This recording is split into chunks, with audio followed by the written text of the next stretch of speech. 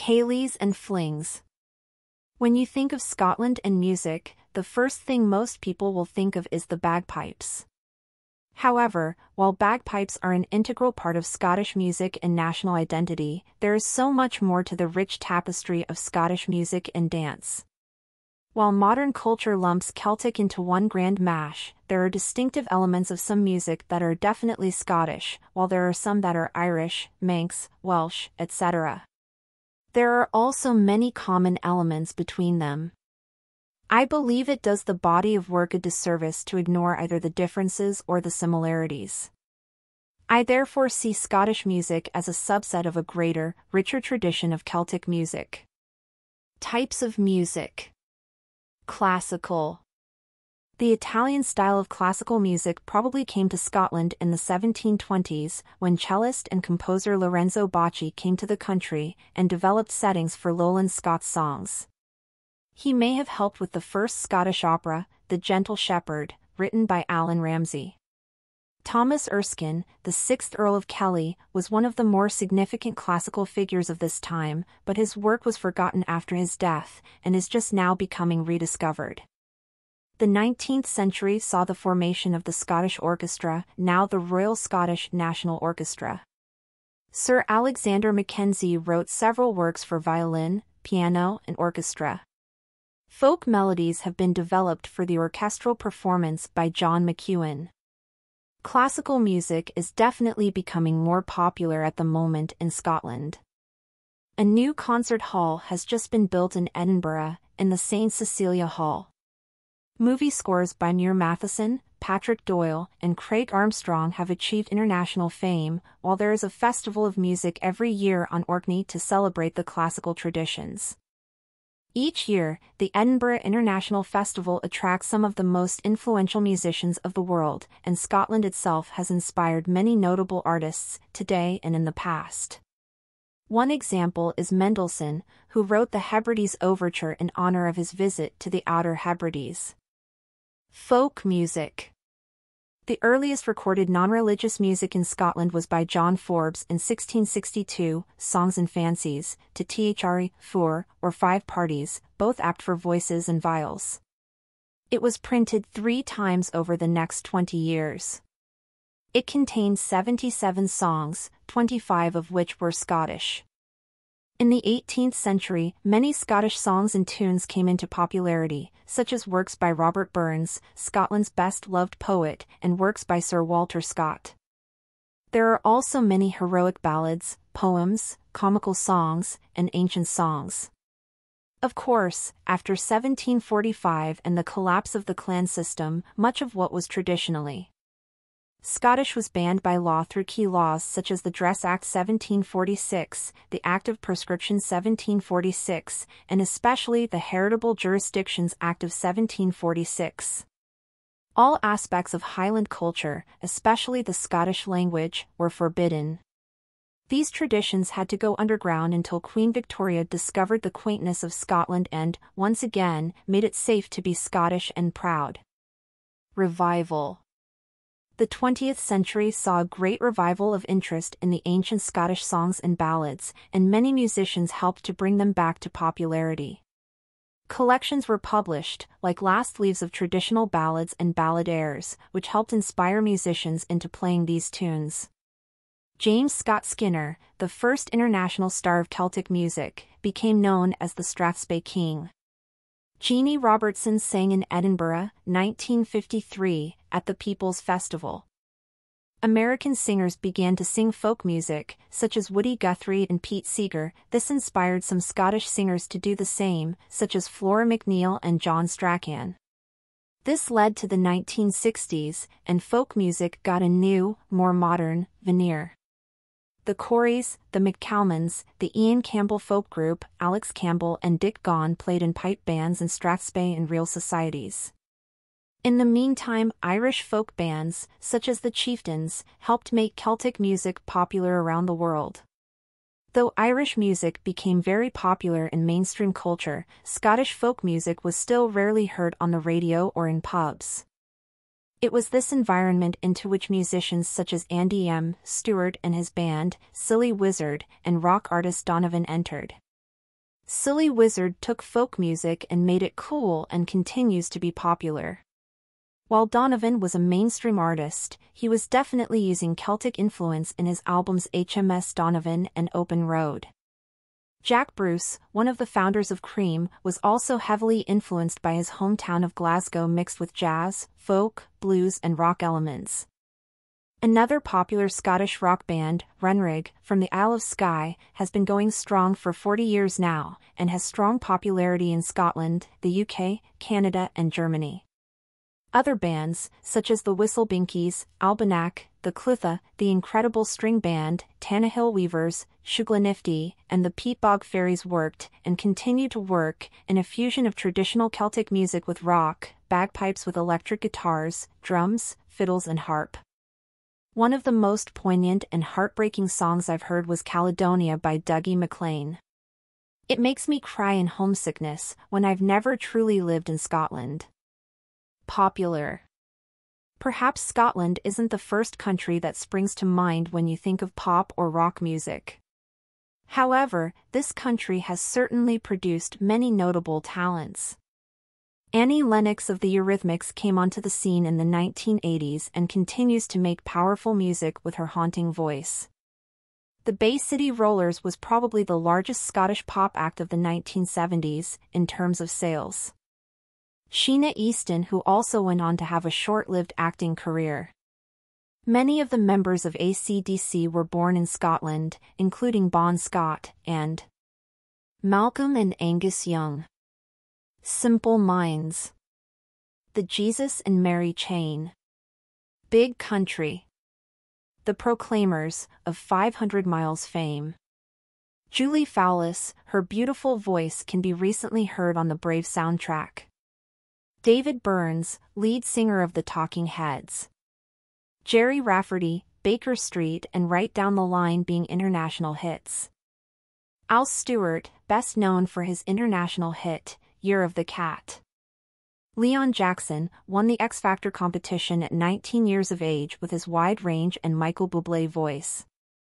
Primal Scream, Del Amitri, Travis, and many more. Rod Stewart, probably the most famous performer in the world of close Scottish descent. The instruments. The bagpipes. The bagpipe has long been an indelible symbol of Scotland, the people and their pride in the nation. Having been banned for many years as dangerous, possibly due to the 1746 Proscription Act, the Scots today hold fiercely to their restored symbol. They still carry them into battle, they did so in World War II, to their regiment mates' chagrin, and refused to forsake them. There are different types of bagpipes, but most people are familiar with the Great Highland bagpipes, pìob mhòr, and indeed, the sound from a properly played pipe is impressive and moving. While it was developed in Scotland, there are bagpipe traditions in many parts of the Celtic world, including Ireland, northern Spain, Galicia, and Wales. The earliest bagpipe references are from the 15th century, but they could have been used as early as the 6th century. They were used for formal ceremonies, military marches, and were often used in hereditary clans such as the MacArthurs, MacDonalds, Mackays, and the MacCrimmons. The music from the bagpipes was originally called piobaireachd, which means piping in Gaelic. It has also been called ceòl mòr, or great music. Other music, such as strathspeys, reels, jigs and hornpipes, became popular later as examples of light music. Harp and fiddle. Stringed instruments have been known in Scotland since at least the Iron Age. Lyres were found on the Isle of Skye dating from 2300 BCE, Europe's oldest surviving stringed instrument. The Scottish clarsach, or harp, was pretty much regarded as the national instrument. However, it was displaced by the bagpipes sometime around the 15th century. Stone carvings indicate that the harp was known by and used by the Picts, perhaps even before the 9th century. An oral tradition meant that poets and storytellers were highly respected, as they were holders of genealogies, histories, and legends. They were honored at all levels, and to kill a bard was a grievous sin. They were usually the highest advisor to the king, and often worked as historians, genealogists, and experts on the Brehon law, as well. Brehon law was a complex system of legal rules that permeated Celtic culture. Some modern harp players include Savourna Stevenson, Maggie MacInnes, and the band, Sileas. A CD from Sileas, Beating Harps, was one of my first purchases of Celtic music, and I was instantly hooked. Scottish traditional fiddling has many regional styles, including the upbeat styles of the Northern Isles and the slow airs of the Northeast. The instrument probably arrived in the 17th century from mainland Europe and has become an integral part of the Scottish music tradition. Scottish and Irish fiddling was the precursor to the Appalachian fiddling in the United States and has also been parent to the fiddling of Cape Breton in Nova Scotia. Musicians such as Natalie MacMaster have brought this style to a worldwide stage. I saw Natalie MacMaster at a Dublin Irish festival where she brought her five children on stage to fiddle and dance. Accordion Thanks mostly to the work of Phil Cunningham, whose piano accordion was an essential ingredient in Silly Wizard, many artists have begun to use this instrument in both folk and rock music in Scotland. The melodeon was popular in the early 20th century, especially among country folk, and was considered part of the bothy band tradition. Bothy bands came from the farming culture of 19th century Scotland, from the small communities that formed in clusters of cottages. Tin whistle. While usually associated with Ireland, Scotland also has a tradition of the tin whistle and has been found with pottery dating as far back as the 14th and 15th centuries. It is common for pipers and flute players to also play the tin whistle. A single tin whistle, well played, can be the most haunting and wistful sound one has heard. The dancing. The piping tradition is strongly tied to both the traditional step dance of the Highlands and the singing, much of which mimics the sounds of the bagpipes. Highland balls are still rather more frequent than you might expect, and of course weddings and other celebrations are everywhere.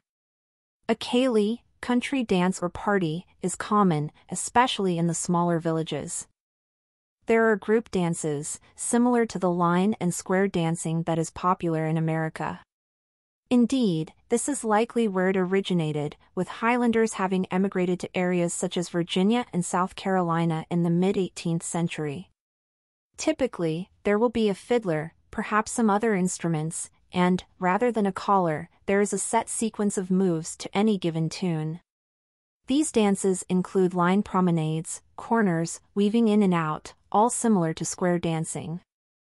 A traditional form of Scottish dancing is the Highland fling, or the sword dance. Typically, if you've been to any sort of Highland Games, you will have seen flocks of preteen girls in pastel-colored checkered stockings and skirts, one arm on their hip and another in the air, hopping about on one foot and then the other in a set pattern. Traditionally, there are two swords on the ground, in a crossed pattern. This dance was traditionally done before a battle, and usually by a man, if the dancer could complete the steps without stepping on a sword, they would be victorious. The songs. Vocal music is very traditional to Scotland, especially the ballads and laments, sung by a lone singer, with or without accompaniment. There is a tradition of puirt à beul, or mouth music, traditionally sung solo without instruments, and consists of rhymes in a set pattern, perhaps originally for helping the rhythm during the work of mashing the barley, or waulking the wool, cleaning the wool. These are also called bothy songs, as men working together on farms lived in a bothy, cottage. Julie Fowlis does some lovely puirt à beul songs, as does Sileas. Now that you understand a little of the history behind the music, you will want to sing along with some of these rousing jigs and sad ballads at the pub, right? Don't feel shy, people do it all the time. Sad songs, Bidh Clann Ulaidh, Beloved Gregor, Green Grow the Rushes O, Thomas the Rhymer, The Cruel Mother, Tam Lin, Amazing Grace, Auld Lang Syne, Ca' the Yowes, Caledonia. Happy songs, or at least enthusiastic Donald Where's Your Trousers, Mary's Wedding, Nancy Whiskey, Hame Drunk Cam I, Jock Stewart, Blue Blazing Blind Drunk, do you sense a theme here? Rebel songs, The Flowers of the Forest, The Campbells Are Coming, Hieland Laddie, Johnny Cope, Killiecrankie, Ye Jacobites by Name, A Song to the Prince, The Skye Boat Song, Will Ye No Come Back Again, Both Sides of the Tweed, Wha'll Be King but Charlie, Wi' a Hundred Pipers, Charlie is My Darling, The Highland Widow's Lament, Arthur McBride. Love songs, The Queen of Argyll, M. Why Love is Like a Red, Red Rose, Wild Mountain Thyme, The Bleacher Lassie O. Kelvinhaugh, The Road and the Miles to Dundee, The Bonny Banks of Loch Lomond, The Banks o' Red Roses. Bothy songs, The Rovin Plowboy, McPherson's Rant, The Bonny Ship the Diamond, The Gaispe Laddies, Johnny Abredesley. Some are simply tunes, rather than songs, Lament for the Children, black-haired lad, a piper's warning to his master, a call in maroon, Maccrimmon sweetheart, cradle song. Of course, on any typical pub night, you may hear many Irish and American songs sprinkled in with Scottish favorites. Just because the tune is from another land, doesn't mean people don't like it. I've often heard Country Roads, West Virginia, Daydream Believer, and Piano Man at pub sings. Finding the music. A Scot of poetic temperament, and without religious exultation, drops as if by nature into the public house, but what else is a man to do in this dog's weather? Robert Louis Stevenson Pubs are the community living room in Scotland. It's a place where people gather to relax, socialize, and talk about their day. Perhaps they complain about the weather, share some funny stories, toast a pint, and listen to some music. You can find them in every size and description across the country. Do keep in mind that not all have music, not all serve food, often this stops around 8 p.m. or 9 p.m., and none allow smoking, since 2006, inside. Sometimes there is an outdoor beer garden to accommodate those who must light up. Children can be welcome in the early evenings, and sometimes well-behaved dogs as well in some of the country establishments. While you must be 18 to purchase alcohol, children as young as 14 are welcome if the pub has a children's license, as long as they don't drink alcohol. That child must be accompanied by an adult and may be restricted to certain areas, such as the restaurant area of the pub. Once the food is no longer served, however, the children are no longer allowed in the area. Pubs, especially in the less populated areas, might not be open during mid-afternoon hours, say between 2 p.m. and 5 p.m. Some may close for the winter season. If you are in a particularly Protestant area, such as the Wee Free Islands and the Outer Hebrides, they may be closed all day on Sunday. Do some research before your trip so you aren't disappointed. This isn't based on law, but custom, so your mileage may vary.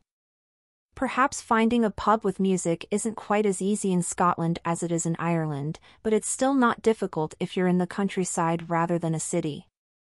There are several website resources I've listed in the appendix that might help you find the perfect pub for some lovely Scottish music, including that of the Traditional Music and Song Association of Scotland. They have a list of local folk festivals as well as the pub sessions. A session could mean a solo performer, a group of 20 taking turns or playing together, or anything in between. These are not usually professional performers, but locals who just love playing, and often tourists joining in. Their performances are not polished, but they are genuine in a way that set shows are not. If you bring your own instrument and or your voice, you will be welcome to join. Music likely won't start until around 9 or 10 p.m. each night, but do get there earlier, as space is at a premium.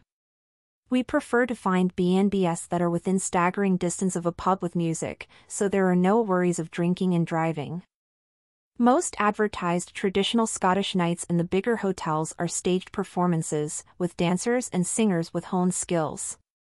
They may be slick professional performers, but they're still fun. Some of the places in Edinburgh known for good traditional music include Sandy Bell's, Royal Oak Bar and the Wee Folk Club.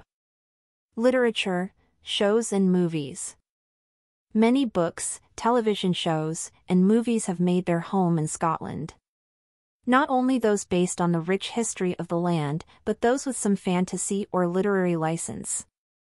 I've listed a few of them below, with a list of places where you can visit scenes from the work. While the scope of this book is not large enough to make an exhaustive list, I've listed some of my favorites. Movies Brave, while Brave is an animated film, much of the animation was based on real locations in Scotland, such as the Callanish standing stones on the Isle of Lewis.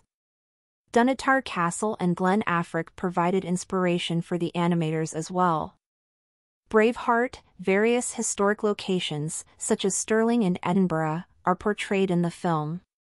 While some footage includes Glen Nevis, Glencoe, Loch Nevin, and Fort William, much of the movie was filmed in Ireland due to weather difficulties in Scotland. The Da Vinci Code, bringing Rosslyn Chapel into the limelight, this thriller has played an important part in a resurgence of interest in this exquisite chapel.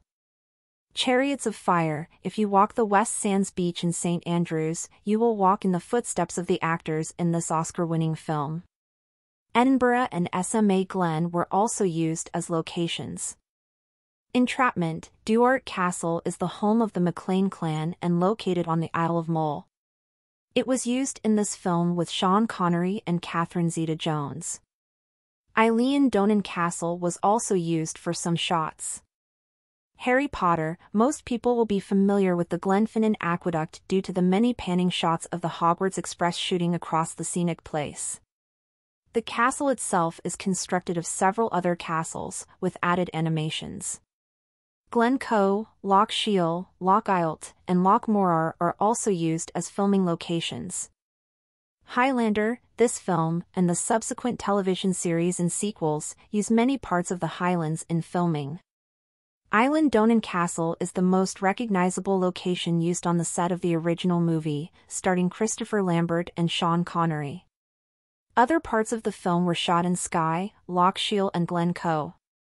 Local Hero, this feel-good film was mostly filmed in Pennan, Aberdeenshire and on Camusdarach Beach, in Morar. Banff and Loch Tarf also played host to the movie sets. Monty Python and the Holy Grail, most of the castle scenes in this comedy were filmed at Doune Castle, except near the end. Castle Stalker was used for Castle of Arg. Rannoch Moor and Glencoe were also used, as well as Arnhall Castle, Sheriffmuir, Loch Tay and the Duke's Pass. Rob Roy, this film starring Liam Neeson was historically set in Balquhidder. The film, however, used Megginch Castle, Crichton Castle, Glencoe, Glen Nevis, Rannoch Moor and Glen Tarbet. Skyfall, James Bond fans will remember the last part of the film, where they search for a place out of reach of all technology, and end up in Scotland. The area this part was filmed in is known Buachaille Etive Mòr, near Glencoe, and is noted for its stark beauty and desolation. Another James Bond film, The World Is Not Enough, used Eilean Donan Castle as well. Train Spotting, this cult classic is mostly filmed in Glasgow, though the story was set in Edinburgh. Some filming was done out in Rannoch Moor, near Glencoe. The Wicker Man, a cult film from the 1970s, the towns of Gatehouse of Fleet, Newton Stewart, Creetown and Kirkcudbright were used for filming in the Dumfries and Galloway regions. Plockton, St. Ninian's Cave and Culzean Castle in Ayrshire was also used for some of the film. Television series Hamish Macbeth the town of Lochdubh is fictitious, but it was filmed in Plockton, Kyle of Lochalsh and the surrounding area. It stars Robert Carlyle as a rather peevish lone police officer in a small Highland town. The setting of the town itself is stunning. Monarch of the Glen. The scenery in this show has been described as one of the main characters. Set in fictional Glenbogle, the filming was done at Ardverikie Estate, a massive turreted manor house in the Highlands. While the house is not open to the public, private tours can sometimes be arranged, and the gatehouse, also in the show, is available to rent as a self-catering property. Laggan is the town that is used, and Kingussie, Carrbridge and Broomhill Station make appearances.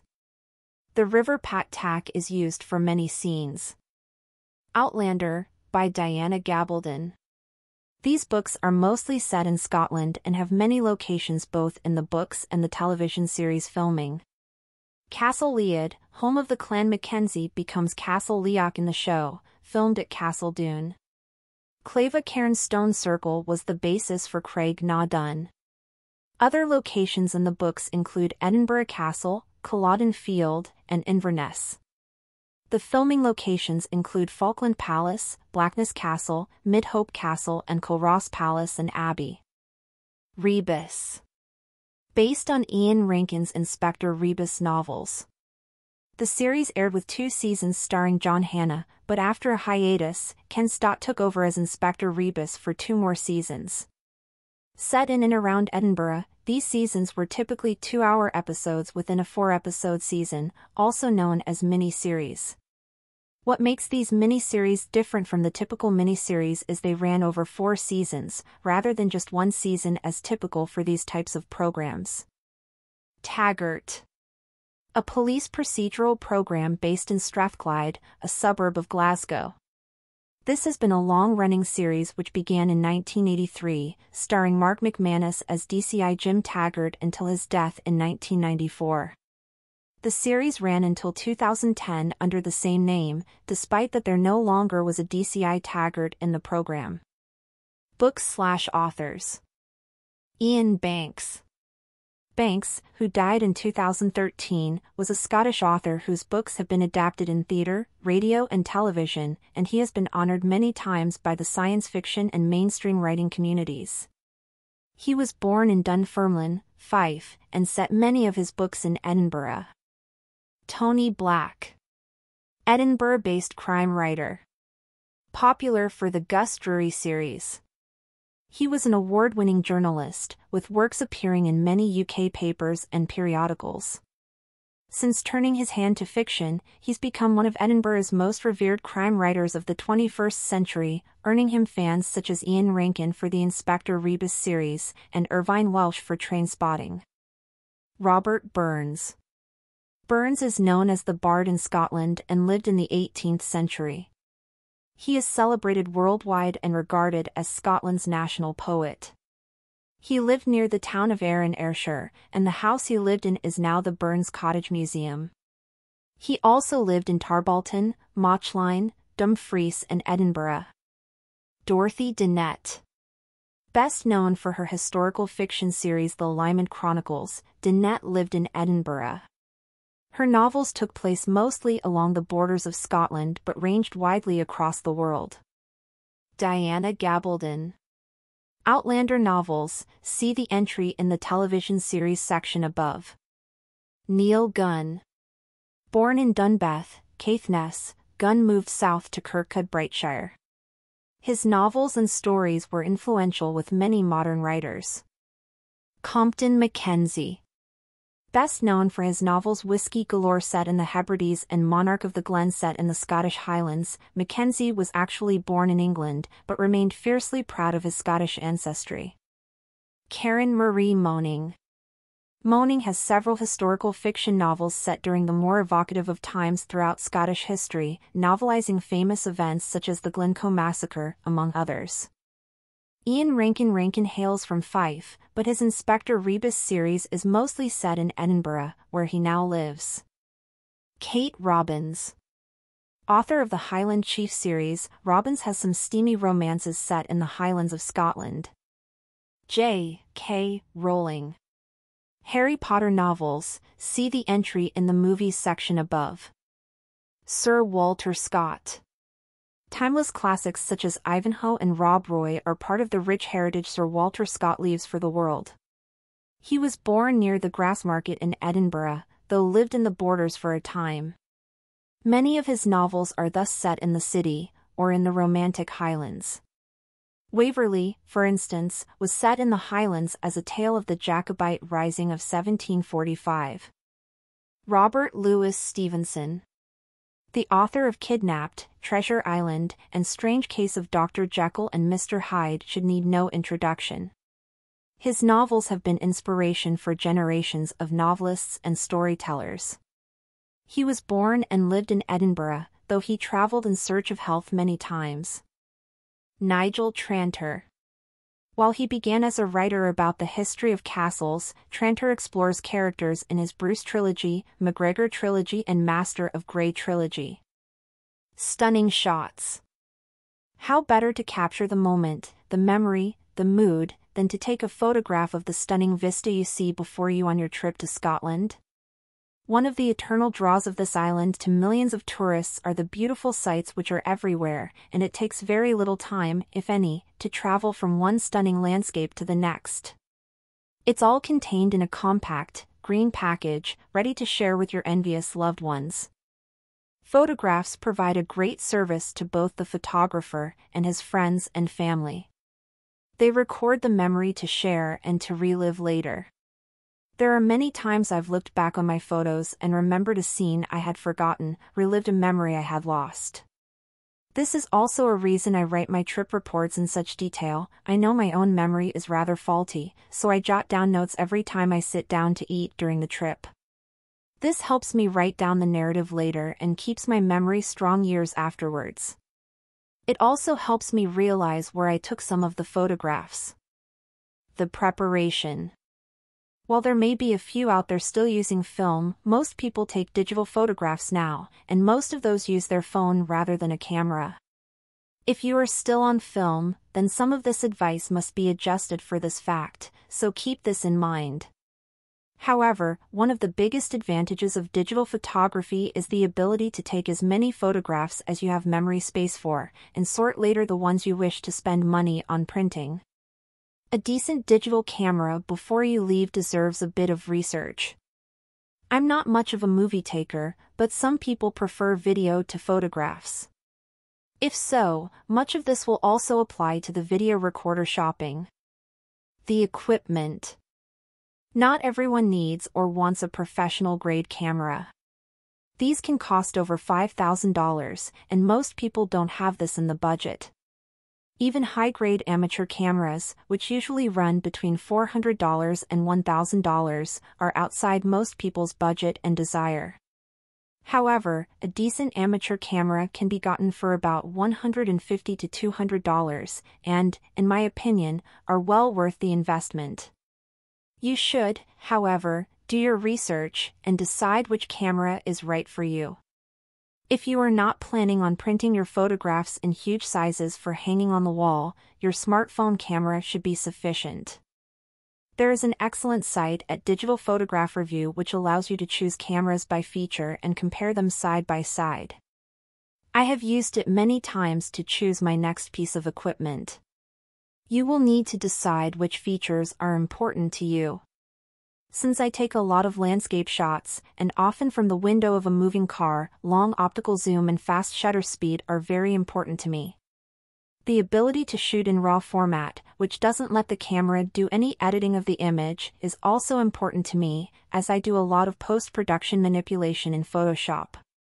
Is low-light photography important to you, for night shots or party shots? How about close-ups for flowers and other macro photography? Once you know what is important, you are ready to choose a decent camera. By the way, some of the best shots I've taken have been from a point-and-shoot $80 camera. Good equipment is helpful but is not essential.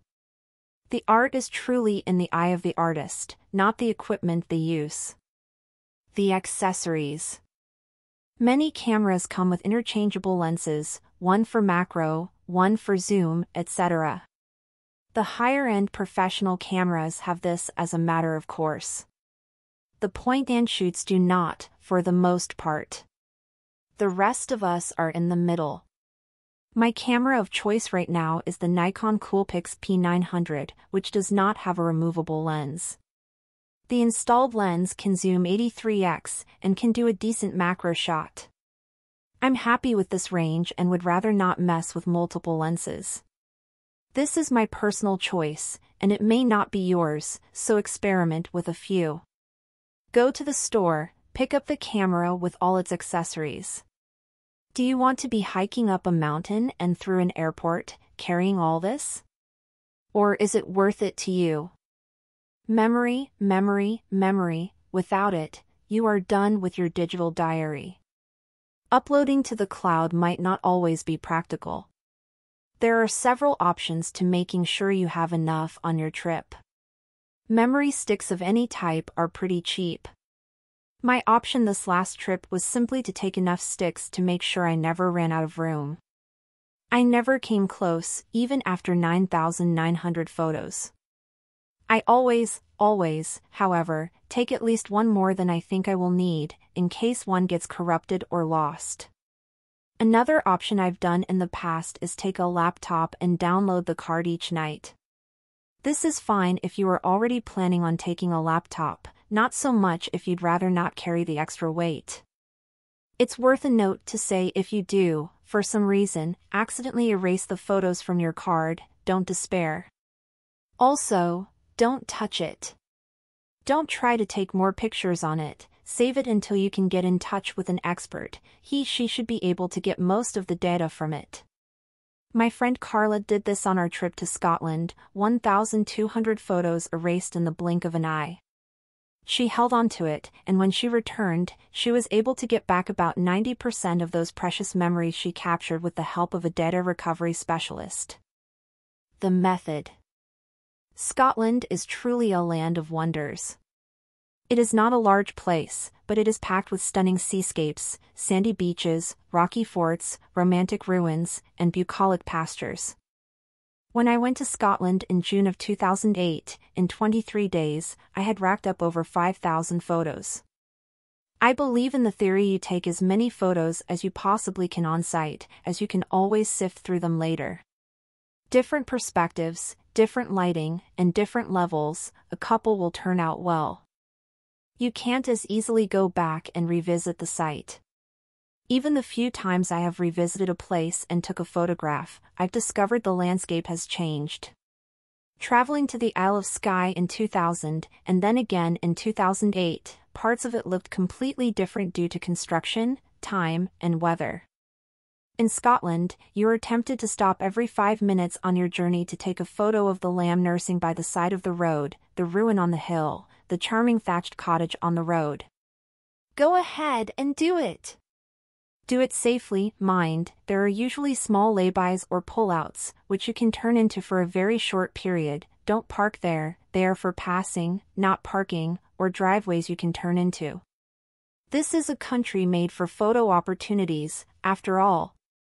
After you've seen your hundredth sheep or so, you may be less tempted to stop at the sight of each one. You should keep in mind some basic photography truths, but also keep in mind these are rules, and rules are sometimes meant to be broken. The rule of thirds, composition is more interesting when objects and horizon lines are on the top or bottom third of the picture, or the left slash right third. Lines, roads, fences, and other lines lead the eye into a particular spot, make sure the spot has something interesting. Scale, the mountain photo is great, but how big is it? Take a shot with a flower, tree, or cottage in the foreground to lend a perspective of scale.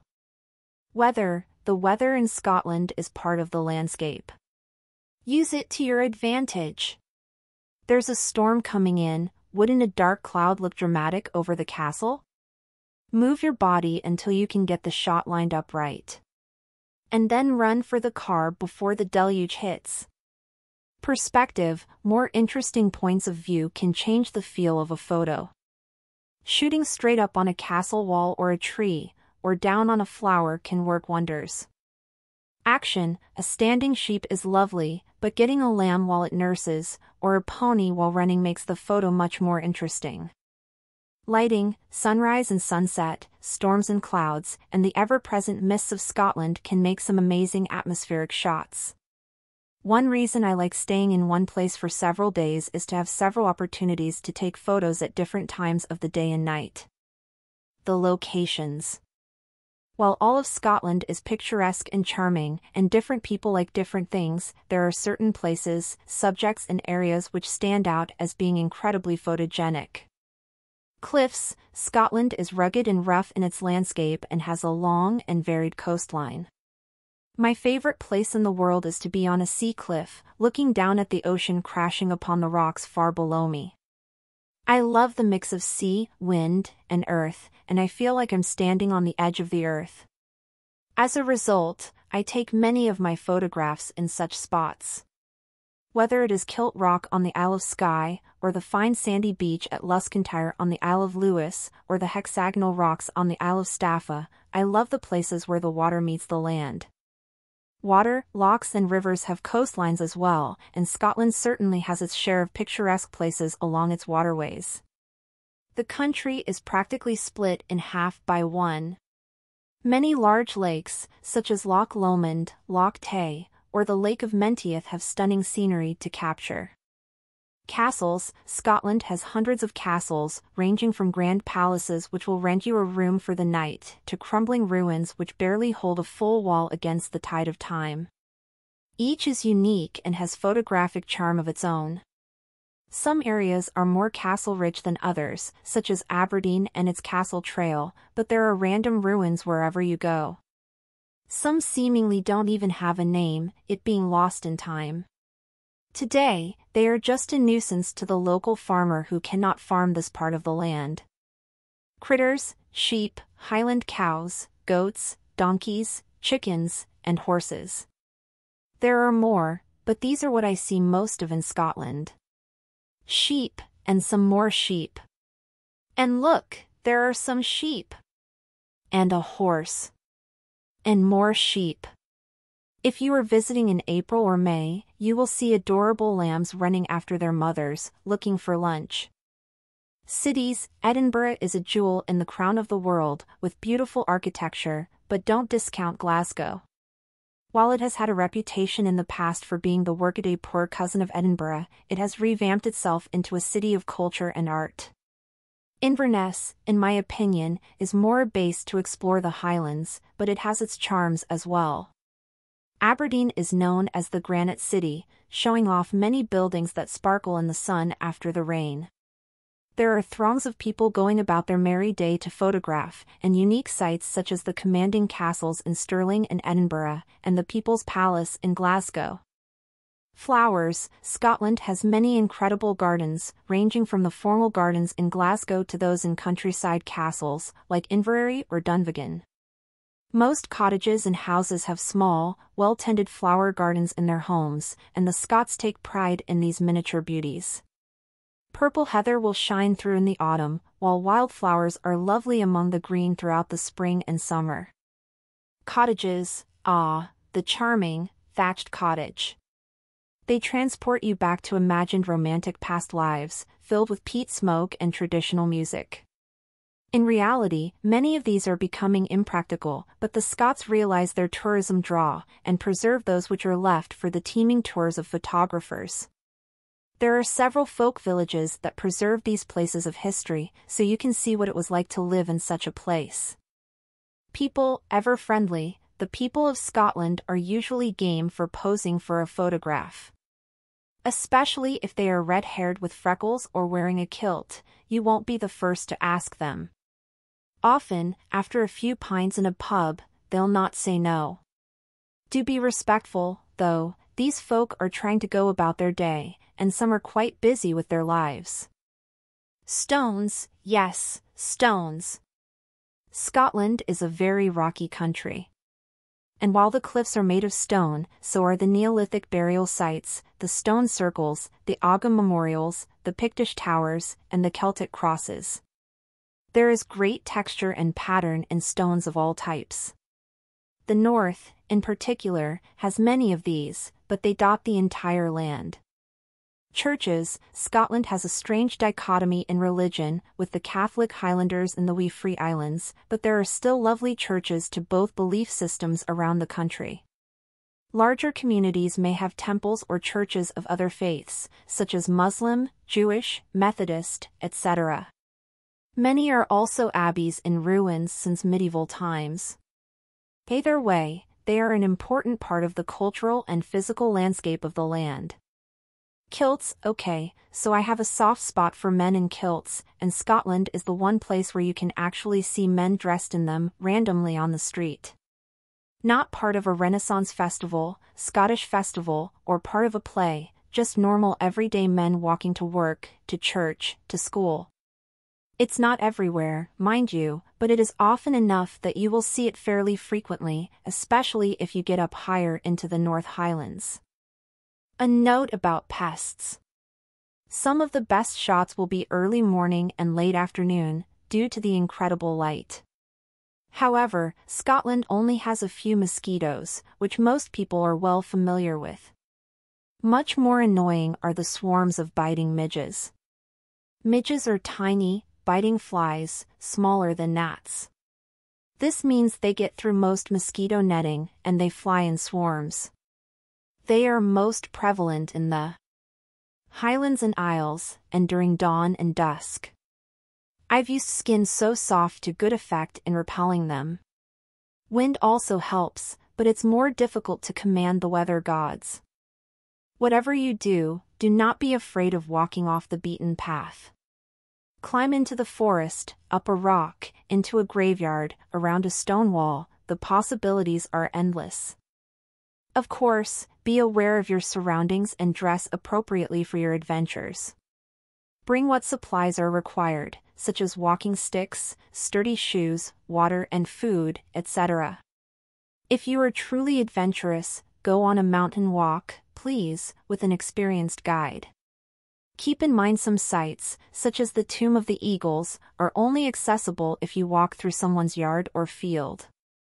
This is allowed but do be respectful with the owner's permission, as this may be a working farm or other place of business, and do no harm to the property. The aftermath. Inevitably, you get home and look at your photos, and you are disappointed. You remember it being much more breathtaking than the photo could capture.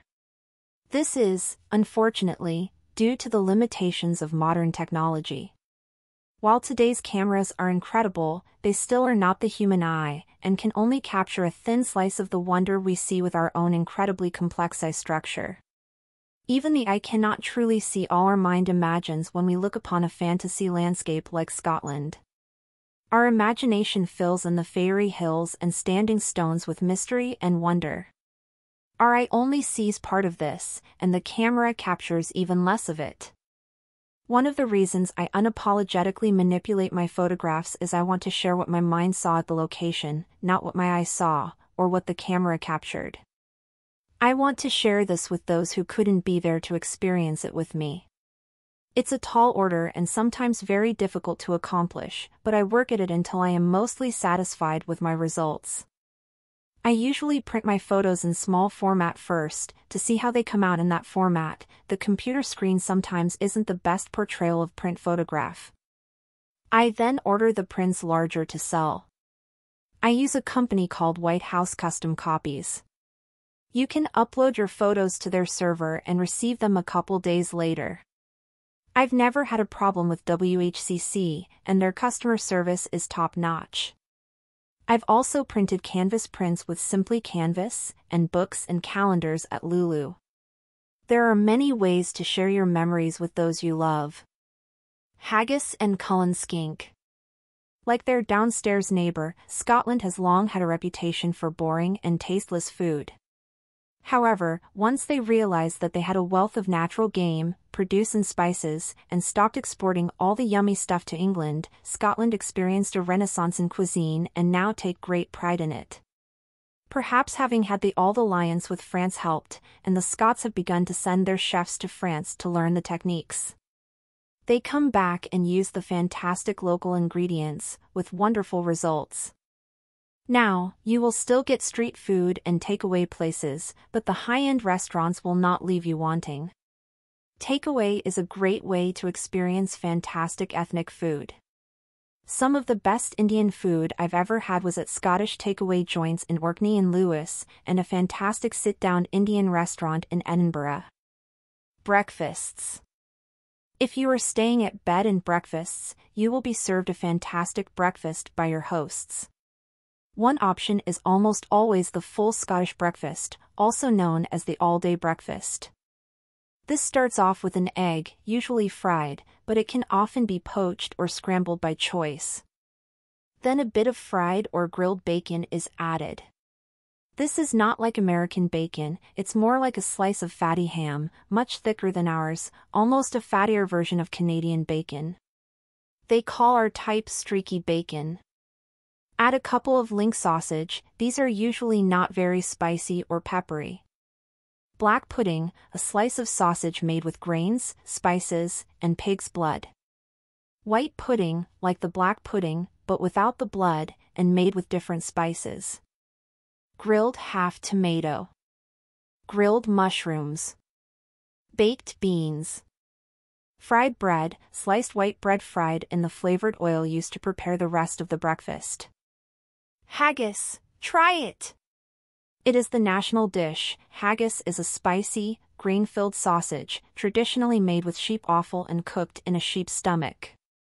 While modern commercial versions use higher quality meats, traditionally handmade haggis should definitely be experienced. It is, if done right, very tasty and moist. Robert Burns even wrote Address to a haggis, which is trotted out and performed at Robert Burns suppers each year. Other options may include smoked salmon with scrambled eggs, porridge aka oatmeal, various cold cereals, fresh and stewed slash canned fruit, poached eggs. In addition, there is coffee, tea, milk, and often several types of juice available. Sometimes there are homemade jams and jellies, scones, or pancakes as well. Occasionally, I've had muesli, or a mixed fruit slash grain slash cream concoction that was delicious. Now you know why the full Scottish breakfast is also called the all-day breakfast. You will not go away hungry from a Scottish breakfast, and most likely, you won't be hungry again until 2 or 3 p.m., at which point, most places will no longer be serving lunch. So, eat less and have a normal lunchtime, or be prepared with snacks to keep you until dinner. Food. Western civilization is extremely food-oriented. We meet for lunch, we meet for drinks. If we have someone over as a guest, we offer them a drink, and we sit down for a dinner party. Barbecues and picnics are how families meet up. We obsess about our weight, our presentation, the taste, style, and healthiness of food, everything associated with the act of eating. So how do the Scottish do all of this? My restaurant of choice in Scotland, or anywhere else in Great Britain or Ireland, is the pub. Sometimes this is because it's the only thing open at 2 or 3 p.m. serving food by the time I've worked off the huge Scottish breakfast. Also, the food is fairly inexpensive and gastropubs have raised the bar on quality food. Traditionally, pubs have been primarily for drinking, with a packet of crisps, potato chips, pork scratching, pork rinds, or peanuts as an afterthought. Some pubs served pies in a pint, the pies being meat and potatoes encased in pastry and baked and held in the hand to eat. Now, traditional pub grub can include those same meat pies, plus hearty stews, fish and chips, carvery roasts, and whatever the pub's chef can conjure up on the day. A ploughman's lunch, bits of cheese, relish or pickle, leftover carved roast from the previous day, and some bread, is a holdover from this time. While many pubs have their own signature meals on their menu, there are certain dishes you will usually always find at almost any pub worth its salt in Scotland. Fish and chips, originally brought to the British Isles by Italian immigrants, this dish has become synonymous with England, Wales, Ireland, and Scotland. Flaky white fish, usually cod or whiting, is battered and deep fried, and served thick-cut chips, fries. Mussels, especially in the coast areas, mussels are a staple, most often served in a white wine and garlic sauce, and a side of traditional brown bread and butter.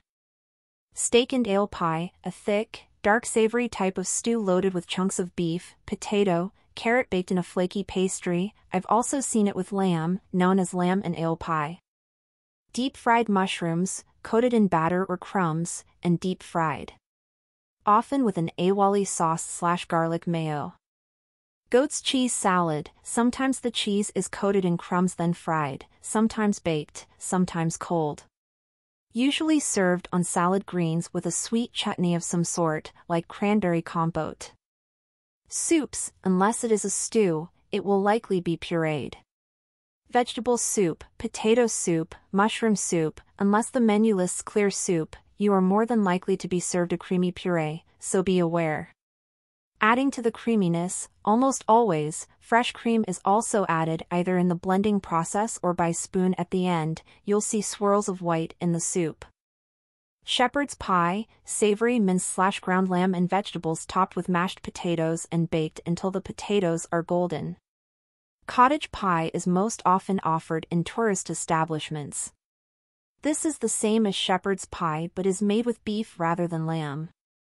Burgers, yes, lots of burgers. Those served in upscale eateries are made with high-quality beef and lots of topping choices. Takeaways also offer burgers on their menu, which are highly processed. Chicken sandwiches are becoming very popular. Scallops, the Scottish love their scallops, and they are delicious. Occasionally I've actually gotten them with the roe still attached.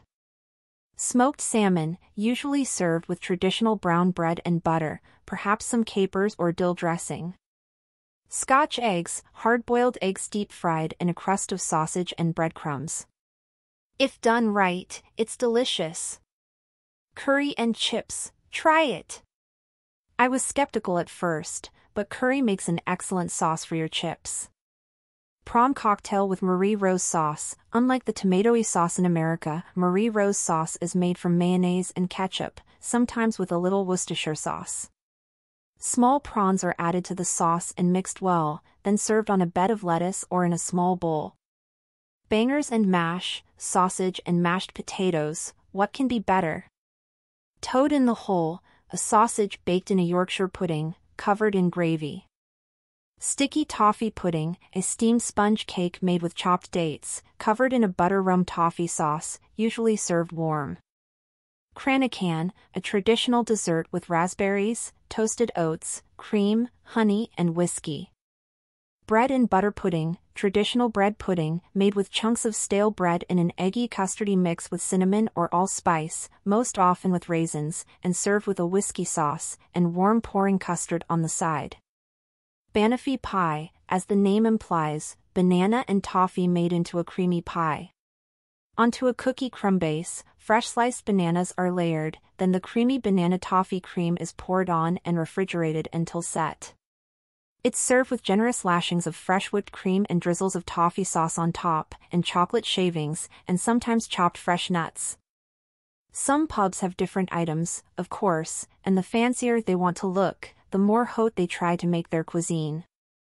I've seen a couple failed efforts here and there, but for the most part, the gastropubs, and even those regular pubs that care, do a pretty good job firing up the food.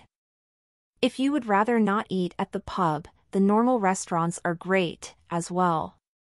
I'm a big fan of seafood, and Scotland has wonderful dishes made with salmon, prawns, mackerel, mussels, scallops, oysters, and anything else you can imagine.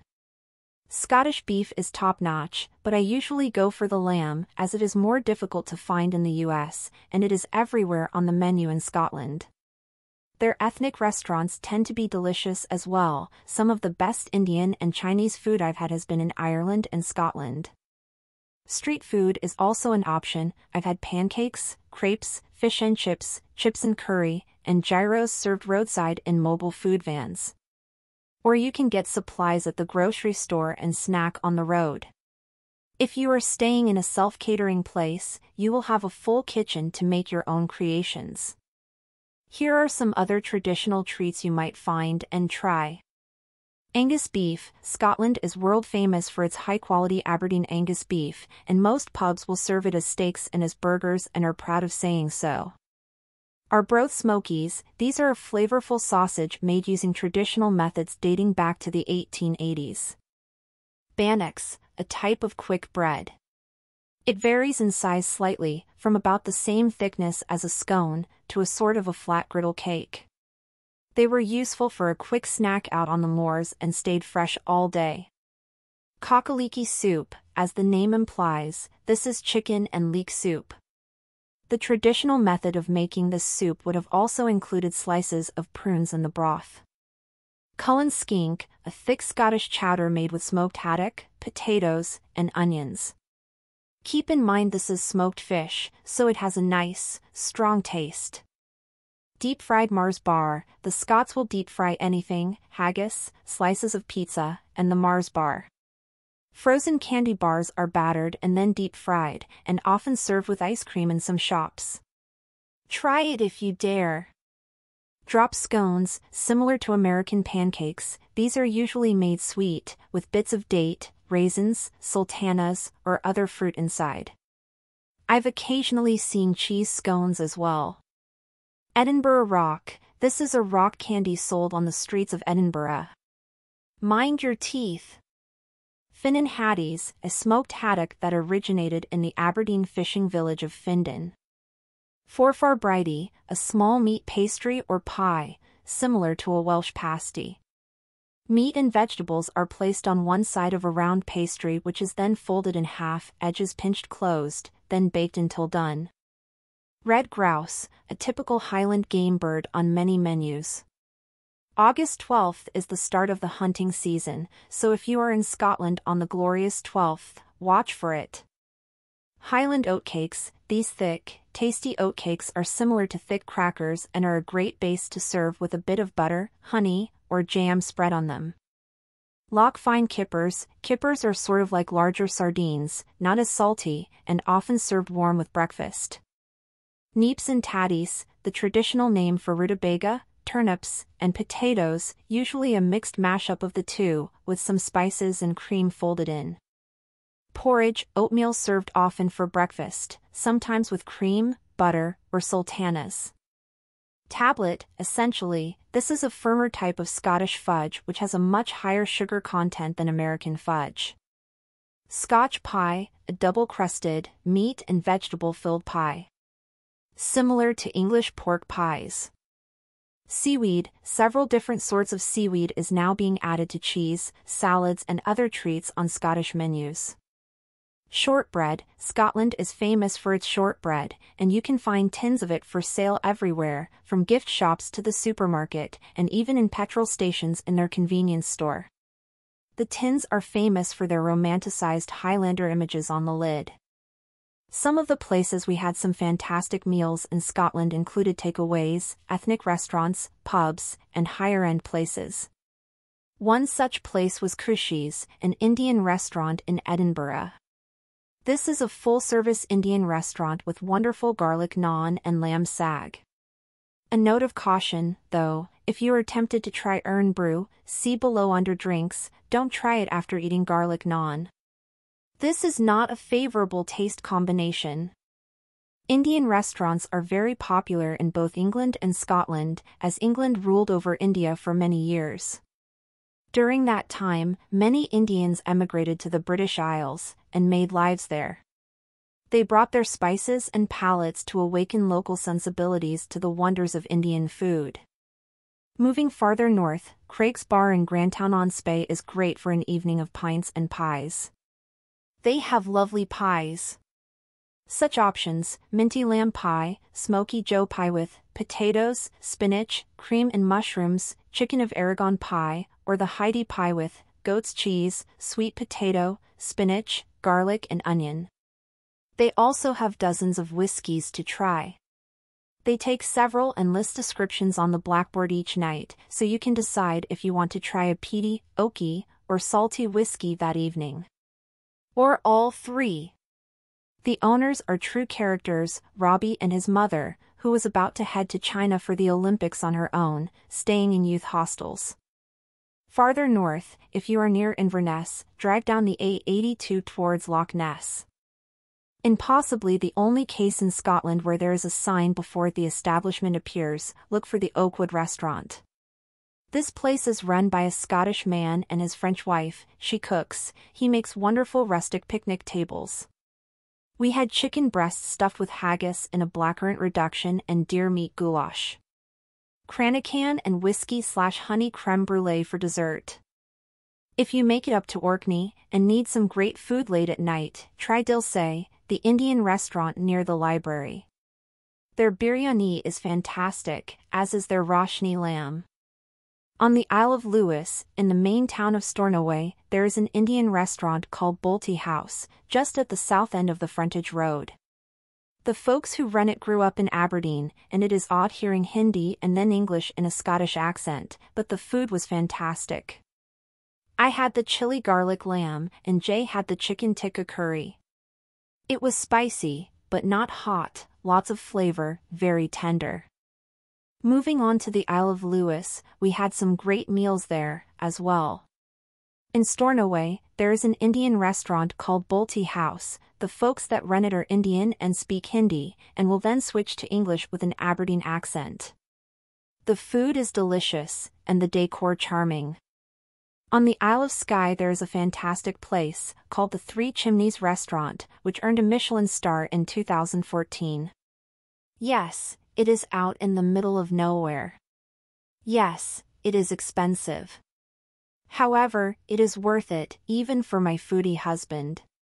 Our table was near the front window, we could look out at the bay during the meal. The wait staff was very attentive and helpful, and the food was simply superb. For starters, we had the seafood bisque, fennel soup, bright green, and roast pigeon. For the main meal, I had the roast lamb, which was lightly drizzled with a wonderfully savory slash sweet sauce. Dessert was a simple melt-in-your-mouth lemon sorbet parfait.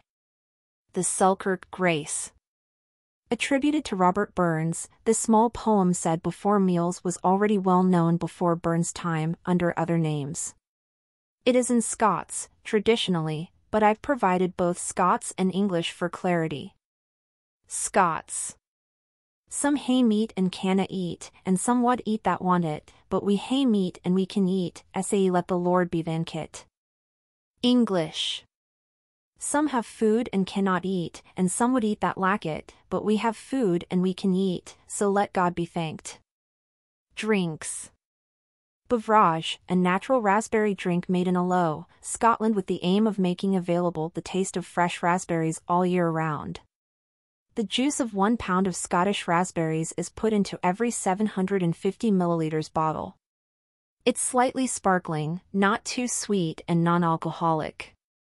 Cider, this is my drink of choice in any pub, as I prefer the sweet stuff. Cider in America, traditionally, is a thicker, cloudy version of apple juice, and non-alcoholic. In the UK and Ireland, cider is light, carbonated, and alcoholic. It ranges from dry to sweet, and available in just about any pub I've ever been to. It is just beginning to gain some traction in the US, I see it in some grocery stores and on some restaurants' menus. Bovril, this is sort of like a fortified, spiced broth, which can be served as a drink, as well as being added like concentrated stock to flavor soups and stews.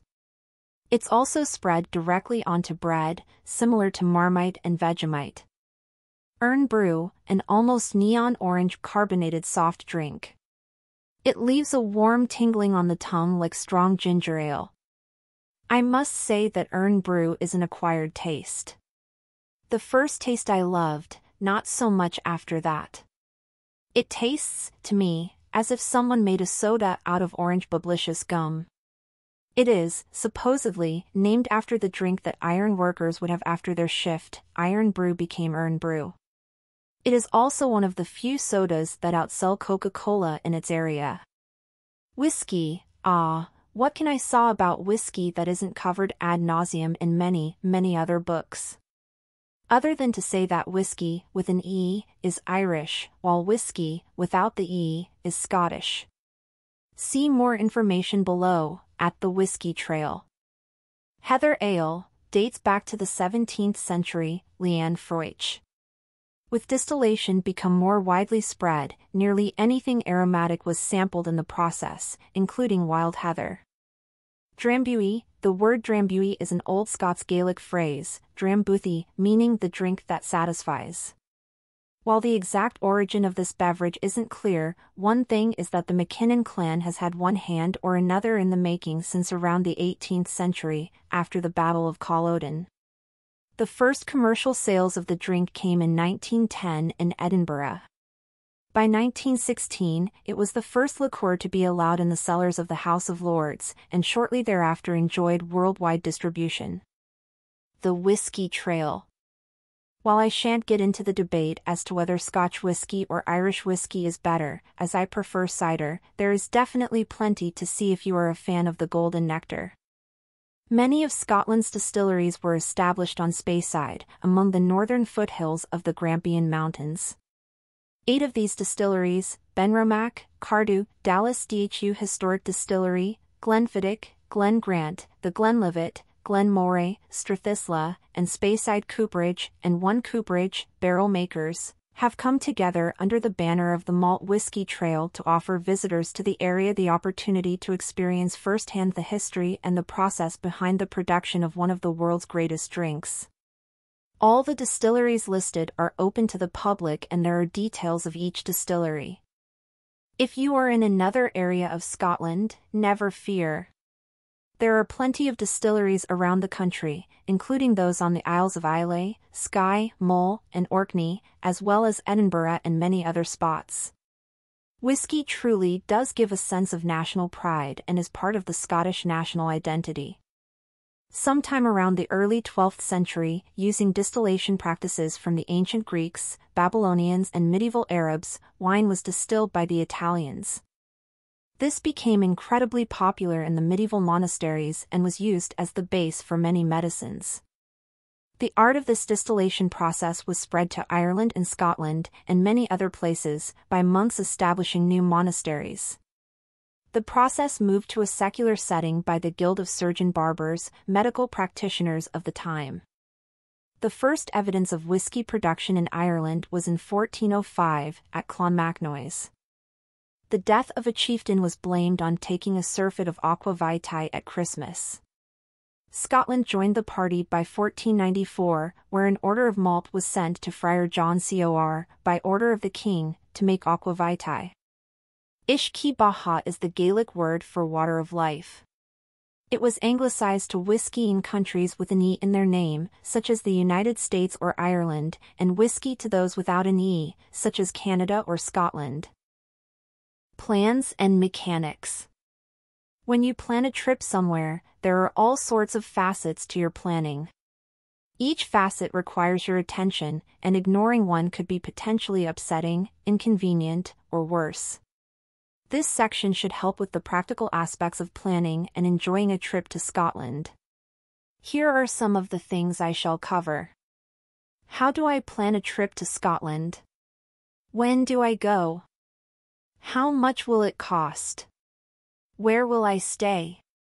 How will I get around? What shall I visit? What if something goes wrong? Many dream about the magic of Scotland.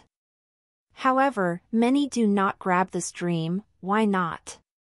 It's too expensive, you say. I could never afford a trip to Europe. Less expensive than a week at Disney World, I say for six people on a three-week Scotland vacation in June 2008, including airfare, rental car, B&B accommodation and trip insurance, we spent about $2,600 per person. Yes, that's it. Now, this doesn't include food, petrol, gasoline, or souvenirs, of course, but it did include a wonderful vacation to a truly magical place. Also, Prices change all the time, especially for airfare.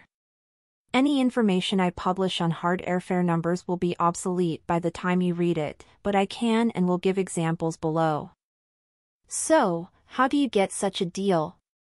Well, it takes patience, research, and the ability to make decisions when you need to. I will take you through, step by step, how to get the best deal for a Scottish vacation. Decisions, why, who, what, where, when, and how. Why? You should start by thinking about why you want to go to Scotland. Do you want to touch the roots of your ancestors? Or experience an ancient culture? Have you always felt an unexplainable pull? Or do you just want to get away from the screaming kids, or make your coworkers jealous? There are many reasons why you may want to go to Scotland. No need to pick one. Pick several. Use these reasons to help plan your trip. Who? WHO's going? You? Your spouse? Your children or parents? Your best friend? A huge group of 20 friends? This decision makes a big difference in accommodation and transportation choices. I have learned, through trial and many errors, there are certain people who travel well together, and those who don't. For instance, I will no longer travel with a mixed group of friends, spouse, and or family. I have determined, in order to keep my sanity, I shall only travel with one type of companion at a time. Otherwise, I become a funnel through which all complaints about others are poured. Choose wisely to avoid problems. What? What to do? Are you interested in touring the whiskey distilleries? Ruined or restored castles and abbeys? Cities or charming villages? Your trip doesn't have to have a theme, of course, but it is more fun if you do, and helps you to plan when your mind is a blank. Perhaps you've seen a movie or read a book set in Edinburgh and want to visit the area? Or you dance and want to learn the Highland Fling, or you play an instrument and want to learn how to play the bagpipes? There is so much to see and do in Scotland that your imagination can take flight. Where? Where to go, of course, depends on what you are doing. It also ties into when you want to go. It probably needs to be considered as a package deal, so to speak. Where includes the character of place, towns and villages, or bustling city? Mountains or patchwork hills? Coastline or lochside? Each city has its own character and a variety of places to stay, from historic B&Bs to luxury hotels. Scottish cities are compact so choose an accommodation with parking, as you won't need the car, as most things are within walking distance. Villages used as a base of exploration can be wonderful, and you get more chances to meet the locals. Urban, suburban, or rural, you will be spoiled for choice. More details on this decision are explored under Why, below. When? When is an important consideration. While the weather is, on average, nicer in the summer and the days are longer, the trip will also be more expensive and more crowded. Alternatively, while the winter is cheaper and you have things more to yourself the weather is harsher, most traditional tourist attractions will be closed or some natural sites inaccessible in poor weather, and the days will be much shorter, an average of 7 hours of daylight in fair weather. It is up to you to determine your comfort zone. The peak season is June, July, and August. The shoulder seasons of March, April, and May, and September, October, and November may offer the best of both worlds and is my preferred time for traveling. Except for right around Christmas and Easter, the winter months, December through February, offer the best deals, but also the highest possibility of weather difficulties and limited open attractions. How? How are you going to get there, and how will you get around once you are there? Usually, the easiest answer to the former question is via airplane. Airfare will be a good chunk of your travel budget, but with some research and patience, you can find a decent fare. Keep in mind that some websites quote the base fare with taxes and then have additional fees, so make sure you are comparing apples to apples when doing your research. While there are now regulations set to have the total fare, including taxes, displayed, that won't include baggage fees and other optional add-ons. There are several sites I go to in order to find comparable flights, such as the airlines themselves, but also Kayak and Google Flights. The cost is usually higher from smaller airports and from those farther away, such as California, as compared to East Coast departures and check the most direct flights to save on travel time and fewer connections. Example, California to London Heathrow to Edinburgh, total flight time around 15 hours. Return the same route and you can clear customs in Heathrow. The latter question, of how to travel once you are on the ground, has more options. While my favorite, by far, is to rent my own car and wander around the moors and hills on my own, this is not the only option. You can travel to some of the main destinations by train or even by ferry or go via tour bus either an all-inclusive tour or shorter day trips. You can also hike or cycle. You can even combine methods of travel, example, drive to Oban and get the ferry to the Isles of Iona and Mull. Since COVID-19, costs of many things have gone up, so everything is still in flux.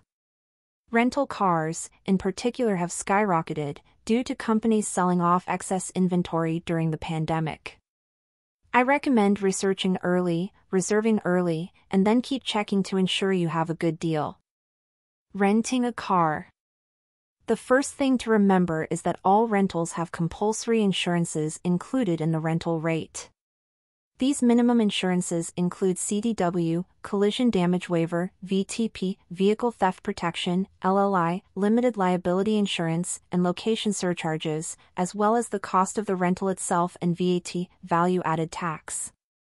Understand what each of these insurances pay and consider optional insurances on collection, which include PLI or Personal Liability Insurance, SCDW or Super CDW, TPI or third-party insurance, and TNWC or tire and windscreen slash windshield coverage. CDW covers damages to the vehicle. Period. If you're in an accident, this compulsory insurance repairs or replaces the vehicle, most CDW coverage only pays up to 80 to 90% of damages and the renter covers the balance. SCDW is the same as CDW but covers that percentage which is left over from traditional CDW coverage. This covers 100% of the vehicle. If you're in an accident and there are injuries, LLI will pay medical costs for those injured if you hit another vehicle. It will not pay for those injured in your vehicle. PLI covers injured passengers in your vehicle. CDW slash SCDW and LLI slash PLI are often covered as part of your travel insurance package. If they are, you do not have to buy them again as part of the vehicle rental contract. Be sure to bring a copy of your travel insurance with you for proof on vehicle collection.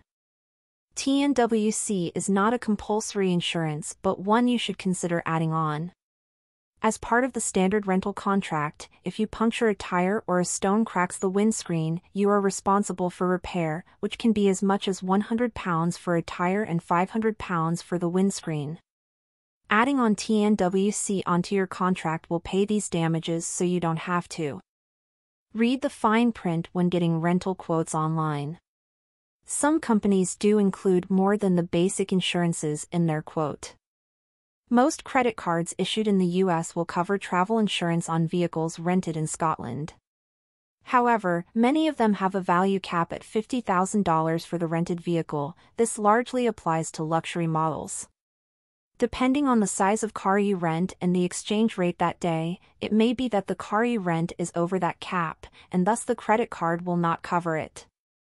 Also, cars might be more expensive there than the same car would be here. Be prepared. If you do not have travel insurance coverage on your credit card, you might be able to buy it as part of your travel insurance. Check out Insure My Trip online to see your options. Also, if you get coverage from someone other than the rental company, be aware they may put either a hold on your credit card for several thousand pounds or actually charge a deposit to the card, which is refunded when you return the car in good order. While this sounds like the same thing, it is not, as many credit cards charge a 2 to 3% foreign transaction fee for any transaction. This would be charged twice for a deposit and a subsequent refund, so you would be out this fee twice. Do some research ahead of time to see if this is the policy of the rental agency, their rules can change at any time.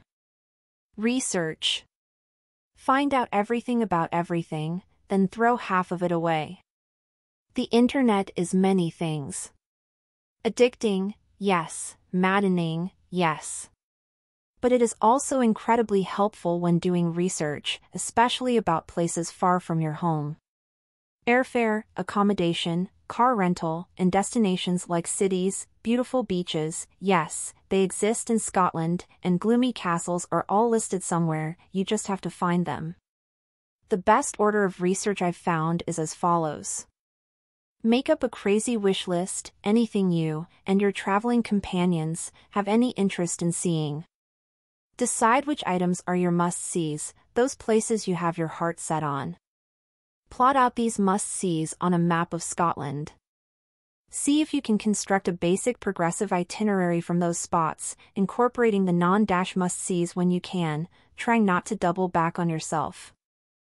See if you can find airfare in and out of places logical for the itinerary. Research accommodation along the way. Research ground transportation.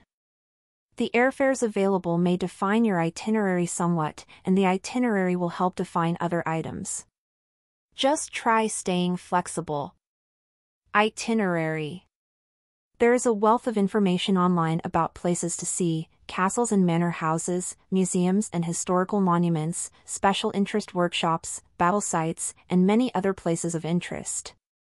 Most cities and towns, even villages, have their own website with tourist information. In addition, many travel agent websites have great information for the intrepid traveler. Even more, there are websites dedicated to those interested in travel, with wonderful forums for those odd questions. Some of my favorites are listed in the Maps and Resources section at the back of this book. Once you have done exhaustive research of the places you want to see, throw half of it out. Yes, that's right, you will likely end up with a list of 17 things to see in each location, but you will only have time for a third of them, so pick your favorites. I usually list about twice as many as I can possibly see and bold the ones I really want to see. That way, if, for some reason, I have extra time, say, one of my must-sees was closed, or didn't take as long as I had thought it would, I can see some of my second-string choices. Also, do yourself a favor by leaving room in your itinerary for free time, wandering around and getting lost, people watching at a cafe, or just having a pint with the locals. These are usually the most memorable parts of your trip, so leave time for them. You don't want to end up with an itinerary where you are rushing through things so fast you don't see them. I call this the plaid blur tour. While some people prefer a fast-paced vacation, it does sometimes pay off to stop and enjoy what you are seeing, rather than just marking off things you've seen on a checklist, like the Griswolds in European Vacation. Edinburgh Castle? Check. Loch Ness? Check. If you've got the places listed you want to see, look for a pattern. Are they all close to a central location? If so, Pick places where you can stay multiple nights and use them as bases of exploration around those regions. Or can they be strung together in a circle over a larger region? If so, spend a couple nights in each place, moving around that circular route. Be visual, pay attention to road maps, plan wisely, and try to avoid crisscrossing or backtracking.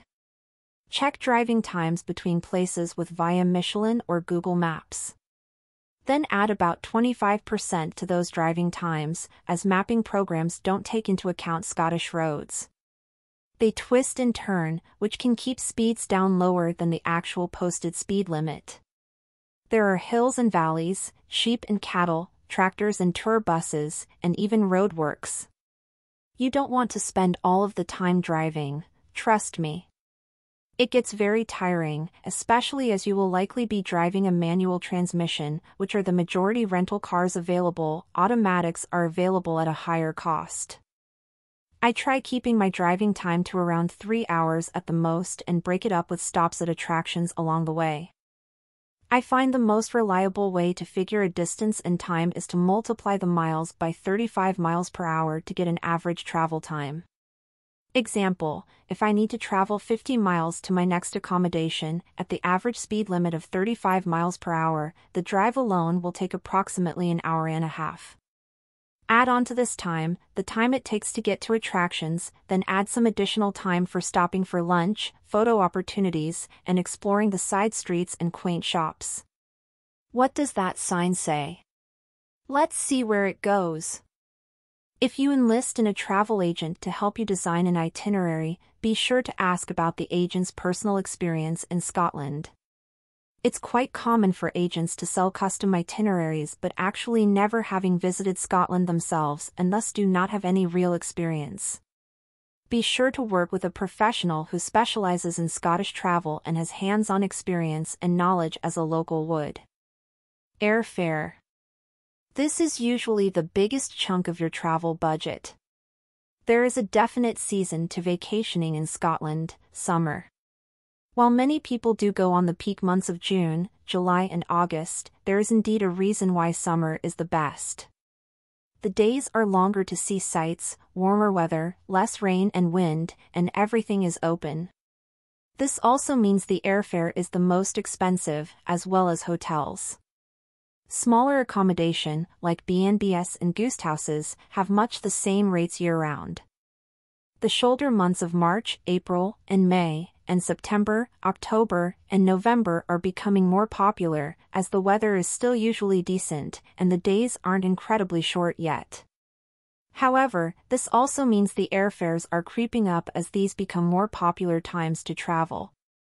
Please note some places won't be open in the shoulder and off seasons, many B&Bs, some restaurants, and most attractions may close after October and remain closed until mid-March. If you are in doubt, check the attractions website first to see if your must-see sites are open before making definitive plans. Most sites list daily opening hours, as well as open seasons. When I've decided on what I want to see and where I want to stay, I look for the most convenient airports, then I start researching my flights. I go to dozens of websites, sometimes daily, to watch fares before buying. When I have traveled to Scotland, I found good fares on a one-day fare sale through United Airlines, which I only knew about due to a fare alert email I had signed up for. The fare was gone in an hour, but I had pounced on it and got it. Do your research. There are deals out there. Also consider flying into one city and out of another. This is great for Scotland, as you can fly into Edinburgh, explore up the east coast and end up flying out of Glasgow at the end of your trip. This is called an open jaw ticket and usually doesn't cost much more, if any, than a normal round-trip ticket. Keep in mind, though, that Glasgow and Edinburgh are only one hour's drive from each other, so it may not be a huge savings in time. There are shuttles available to take you from one airport to the other for a reasonable price. We used one on our trip, landing in Glasgow, and then taking a bus which transported all six of us to our front door in the Edinburgh flat we had rented, about an hour and a half drive. Total cost, about £100. There are others, of course, but these are the ones I've used most often. Also don't forget to check the airline websites. If you find a great fare on Expedia for Delta, Delta might have it cheaper on their own site, and it is usually better to deal directly rather than through a middleman. Some airlines, like Southwest, which isn't international, but could get you to a hub like New York cheaper, may not be listed on price consolidation sites like Travelocity, Kayak, or Expedia. Check those sites on your own. I sign up for airfare alerts when I'm researching fares, so I get quick notification of sales. Airfare Watchdog is a great place to keep track of a particular fare, as the site follows fares rise and fall. You can set up email alerts for when the price rises or drops a particular amount or to a particular level. Some of the consolidation websites do this as well. When you buy your tickets, check out the cancellation policies. Usually, the cheaper the flight, the less flexible the change is allowed. Make sure you are going before you purchase non-refundable, no-change tickets. If you have any reason why you might not be able to make the flight, either pay extra for flexible tickets or get travel insurance that covers flight cancellation. Some fares cover delays or cancellations due to medical reasons, for instance. Keep in mind they usually mean your medical reason, not a child or a parent for whom you need to stay to take care of. Airlines are very strict about cancellations so be sure to read the fine print before buying your tickets. Accommodation Bed and breakfasts and guesthouses. Once you have your airfare and itinerary, you know which nights you need accommodation and where. Scotland is wonderfully full of adorable bed and breakfasts. I highly recommend this accommodation choice. The B&Bs in the US tend to be more upscale and expensive than those in the Scotland, so don't go by their example. Most B&Bs I've ever been in have been comfortable, clean, cozy, and a delight to stay. B&Bs around the countryside run around £40 per person sharing per night or PPPN or PPS and include the traditional full Scottish breakfast. You will pay higher for city guest houses. Where B&Bs are generally family homes, larger guest houses are purpose-built B&Bs with higher occupation numbers, perhaps more amenities, and a more extensive breakfast menu, and will have a slightly higher cost. If you are staying in the city, and have more than just a couple people, it may be more economical to rent a flat or an apartment. We had six in Edinburgh and rented a lovely two-story flat just a block off the Royal Mile. It had a total of four bedrooms, had the original wood floors from the 15th century, vaulted ceilings, and a lovely wooden four-poster bed. The dining room was a bit claustrophobic, for all it looked like a medieval dining hall, and the clothes washer and dryer were compact, but it was a great place to get our bearings, and a short walk to the medieval heart of the city. Hotels Hotels usually charge by room rather than per person but are based on two people sharing. Many usually do not include breakfast in the deal, referred to on booking as room only. Hotels are usually more cookie cutter and sterile. A Hilton is the same in San Francisco as it is in New York, London, and Japan, and they lack the authenticity of a family-run B&B. In my opinion, hotels are a place to stay based on convenience rather than a place to enjoy. However, there are some small family-run hotels in rural areas which may offer you the privacy you want while also adding something interesting to your overall visit to Scotland. Many old country houses have been converted to guest houses and small hotels, which would definitely add interest to your stay in the region, especially if the accommodation has any historic ties to local history. You can also find castle hotels around the country, such as Culcreuch Castle in Stirlingshire, or Dalhousie Castle near Edinburgh. Prices in these types of accommodations are generally more expensive but would certainly add something special to your trip, especially if you're traveling to Scotland for a special event, like an anniversary or honeymoon. Hostels and other specialist accommodation. Hostels, both regular hostels and youth hostels, camping, caravanning, RV, canal boats, colleges offering dormitory rooms for the summer, are other options for creative accommodation. There is no end of unusual places to stay. Some hostels in Scotland are part of old castles, such as Castle Rock Hostel.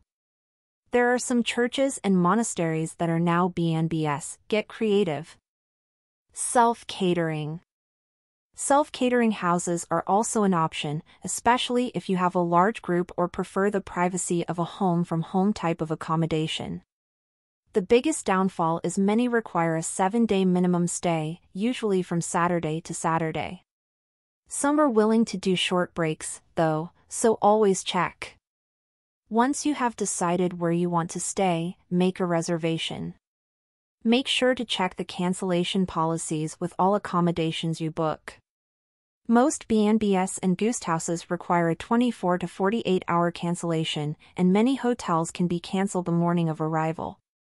However, self-catering and specialty accommodation usually have a 4 to 6 week cancellation period for a full refund. The time you cancel will dictate how much of your money you get back. Inside that 4 to 6 week period means staged refunds, with service charges increasing the closer to your reservation date. Email is usually the normal option for communication these days. I prefer this method as it leaves a paper trail, and I make sure to bring a copy with me. Not everyone in Scotland is web savvy, even if they have a website, so be patient. Some may require a phone call, most will require a credit card to secure bookings, even if it's not charged. This protects the establishment against no-shows. Don't forget the time difference. Scotland is ahead of Eastern Standard Time by 5 hours, and by 8 hours from Pacific Standard Time. Noon in New York and 9 a.m. in San Francisco is 5 p.m. in Scotland. If you're organizing your trip in the evening after work, remember the folks in Scotland could be asleep. Also, when booking your accommodation, not all places in Scotland are going to take credit cards. Those which do may not take American Express or Diners Club. None of them take Discover. Those which take credit cards will take MasterCard and Visa. Some are cash only, even if they take a card number for the reservation. Be prepared to pay cash on departure. If a host is going to take a deposit or take the full amount on booking, remember you will see a foreign transaction fee on your statement. Again, check the cancellation policy if you expect a refund on cancellation. Ground transportation. My recommendation for getting around Scotland is definitely by renting a car, as discussed earlier. Exceptions would be if you are under or over the age limit for rentals, or maybe you have physical limitations, or if you are staying in a major city, like Edinburgh or Glasgow where you won't need a car because the city is compact enough to walk and parking is hard to find and expensive. In the countryside, though, while it is possible to use bus and train to get around, and certainly many people do, you won't find this an easy option, as it requires a lot of flexibility in your schedule. ScotRail travels between cities and major towns, but a vast part of the country has no rail travel at all. Getting to villages and remote attractions can be difficult to impossible and very time-consuming. If you are in an organized bus tour, you are obliged to stick to that itinerary, so you can't make a detour on a whim to go find a hidden castle when you see a sign. You can't stay longer at one spot unless you want to get left behind. There is no flexibility with organized tours. If you travel by public bus, you do have some flexibility in your itinerary, but you will be reliant on the bus schedule, which is often inconsistent for arrival and departure times. Now, I know it is scary to think about driving on the wrong side of the road, but it's not really that difficult, especially if you're a good, conscientious driver by nature. It's not so bad as you think, and you will get used to it very quickly. The mind has an incredible ability to mirror and allow you to perform the same tasks, as if mirroring the motions to what you're used to. It helps to have a designated navigator, as the signage in Scotland is a little different from what you may be used to. Signs tell you name of the next town, in English and in Scottish Gaelic, as well as the route number and the distance in miles to other towns on that route. This means you should know the major towns on the way to where you are going, or even the ones just beyond your destination. While national signs can be in both English and Gaelic, keep in mind that the more north you get into the Highlands, the signs might only be in Gaelic, so learn the local name of the places. Most folks have map apps on their smartphones. If you don't, or if you don't have a data plan that you can use abroad, you a GPS can still be very helpful, and not only does it help you find places, if you have a good address for the place, not always a given, especially in rural areas. It can definitely help you find your way back to your B&B if you deliberately get lost during the day, just for the fun of it. Most car rental companies offer them now, some of them even give them for free. Big cities in Scotland don't require a car to get around. In fact, having a car is a liability in Edinburgh. It is difficult to get around with the heavy traffic, find parking is challenging unless you know where the few multi-story parking lots are, and it can be expensive both on the street and in the multi-story. Also, Edinburgh and Glasgow both have decent public transportation systems, and both cities are quite walkable.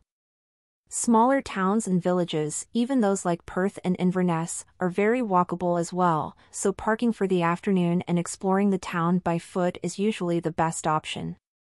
For the bigger cities, if it's your final stop before returning home, turn in the car before getting to the city, or wait to rent it until you leave to begin your holiday. Gasoline is called petrol in Scotland, gas is the natural stuff pumped into your home, and is very expensive. At the time of this publication, the cost is running around 8 US dollars per gallon.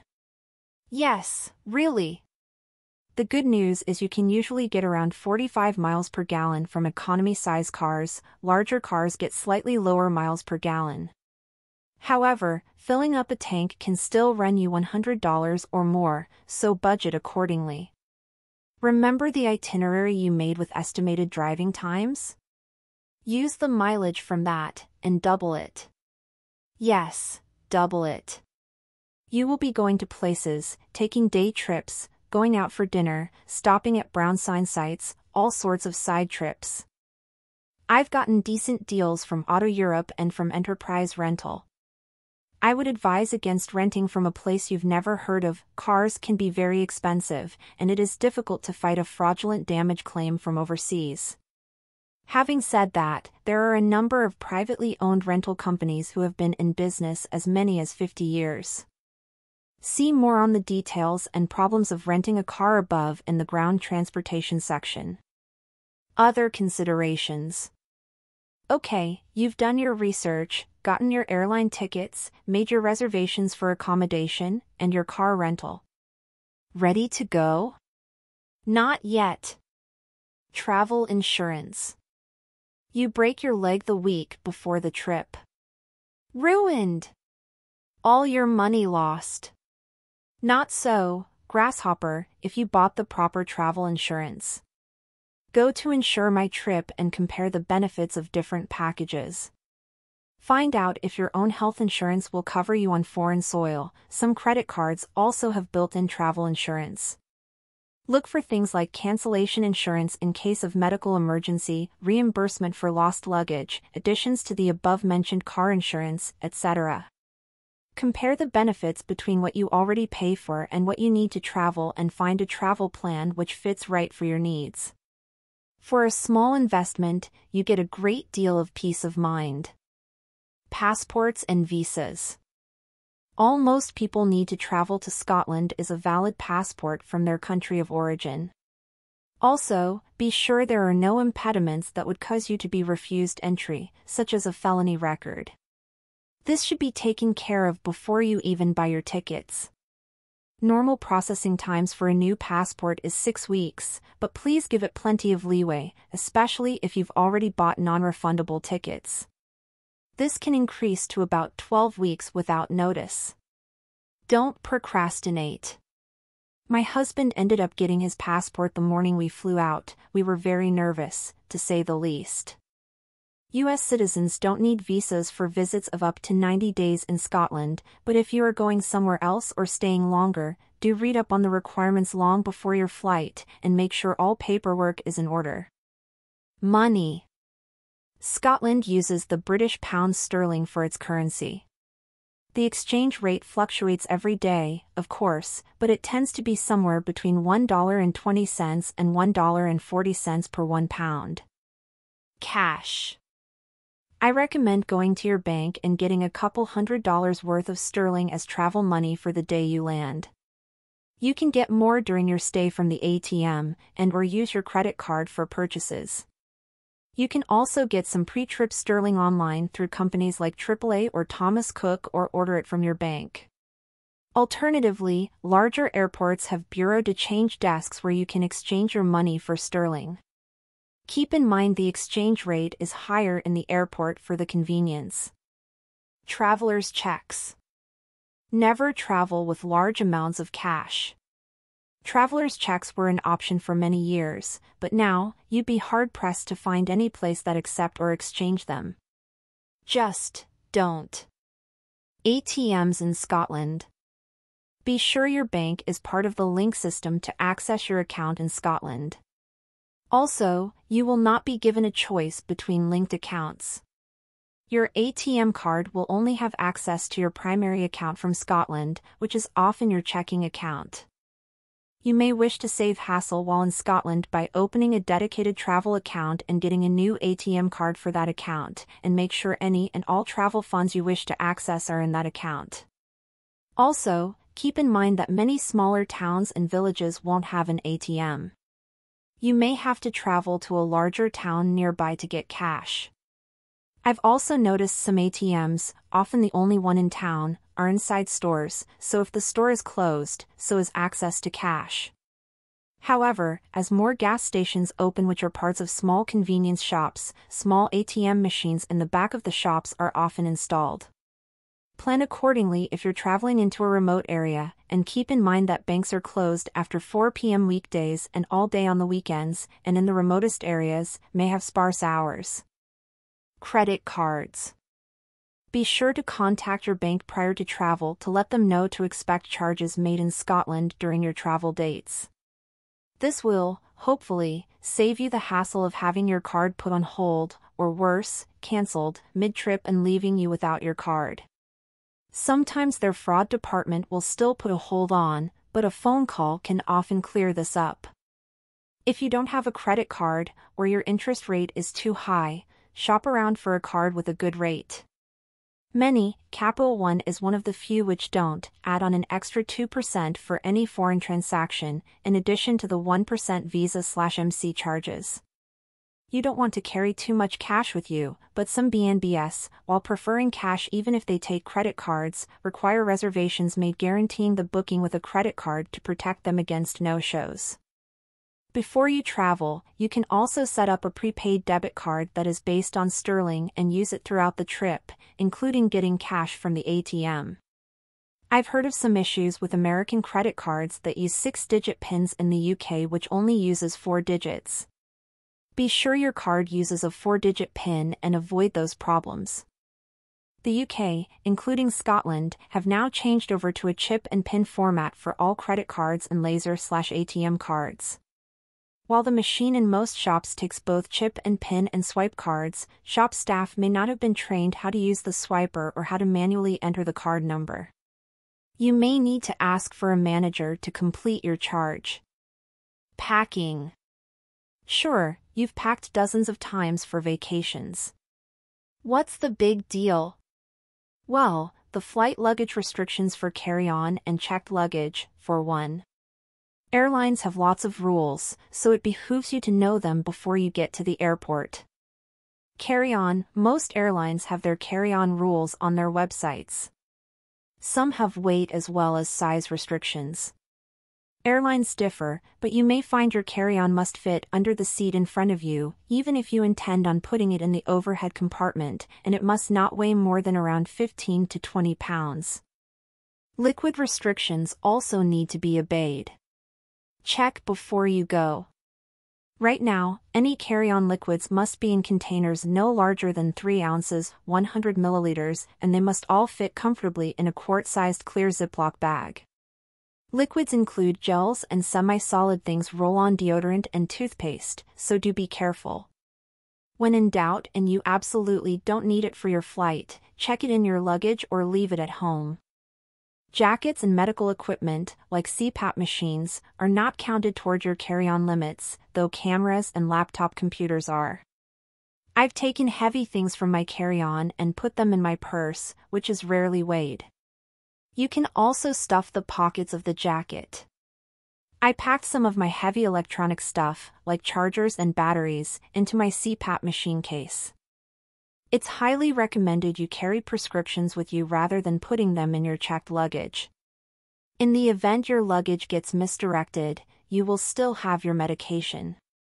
Prescription medicines must be labeled in the traveler's name. Be sure to get your doctor to write out a copy of your prescription and carry it with you in a safe place. If you lose your medication, bring your prescription to a chemist to have refilled. You may also find that if you're carrying baby food or formula that it may need to be tested at the gate. Where adult food is concerned, you will be asked at security to dispose of things like uneaten food and open bottles and cans of water or colas. Visit the Transport Security Administration TSA website for lists of acceptable carry-ons and restrictions. This list will also help you to know what you can bring on board to entertain yourself or your kids, such as electronic games, music players, laptops, tablets, e-readers, etc. The site will also provide you with information on things like knitting needles, crochet hooks, scissors, etc. Keep in mind that even if it's on the TSA acceptance list, it's purely up to the discretion of the officers at security. Don't bring your expensive needles and hooks in the event they're not allowed and you have to throw them away. Checked luggage. Some airlines charge hefty fees for overweight luggage and limit the number of pieces each person can check. While airline restrictions vary, generally speaking, for long-haul flights into the UK, the maximum weight allowance is about 50 pounds, and some airlines can allow up to two 50-pound suitcases per person. Also, if you're in the habit of locking your suitcases, be sure to use TSA-approved locks. If inspectors need to access your suitcases for any reason, they have a master key to open those locks, or they will cut off non-TSA locks to inspect. If there is an inspection, you'll know when you get home to unpack and find an inspection notice on top of your items.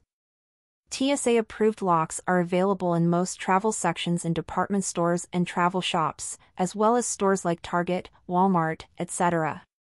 Don't, don't, don't put valuables or medicines in your checked luggage. I cannot emphasize this enough, yet people do it every day. Cameras, laptops, anything fragile, anything essential, must go in your carry-on. They've even created a reality show based on people buying up abandoned and lost luggage, hoping for hidden treasure inside. Of course, this makes your carry-on heavy, so some decision-making is sometimes necessary. As you've seen above, there are strict weight limits for carry-ons. I usually put one day's worth of clean clothes in my carry-on, in case the checked luggage is delayed or lost. If you have something really valuable, consider leaving it at home. Do you really need the diamond stud earrings on the trip, or will the cubic zirconia work? My last trip, I did carry-on only for the 16-day trip. I've had the airlines lose my luggage too many times in the past.